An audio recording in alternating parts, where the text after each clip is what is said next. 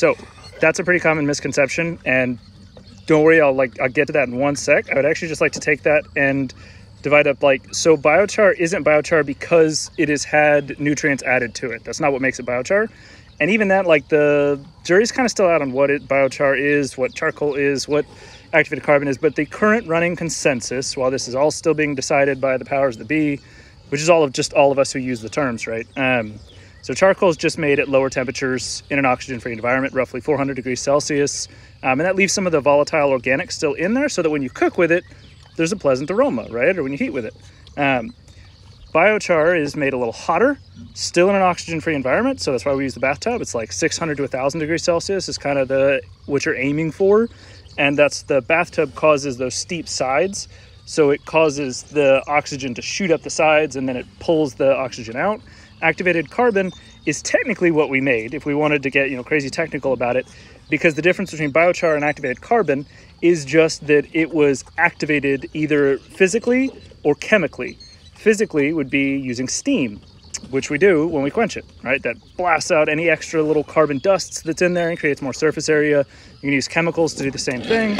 Um, but the deal why you might worry about adding nutrients is because when you apply biochar or activated carbon, or even to a less extent charcoal, out in a field or in your garden, is that you've now created so much more space for, you know, pore space and everything for the uh, the microflora and fauna in your soil to thrive, right? And so what we get is we get this big boom of growth.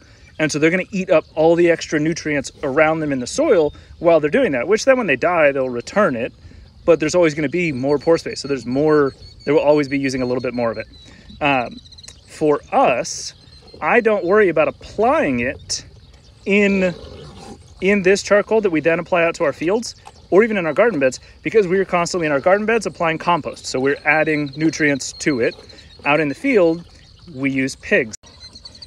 So we run pastured pig operation. So they're constantly pooping out here in the field, right? I have more nutrients in my field. We're technically using this kind of as a remediation strategy. So they poop out in the field, and there's a lot of them. We're on six acres. So what my goal is, there's a wet weather creek that runs through. Doesn't often have water, but when it does, it really flows through. So our goal is is to use the biochar to catch all of that extra nutrients that are already in our soil and stop it from running off into everybody else's streams and creeks and fields.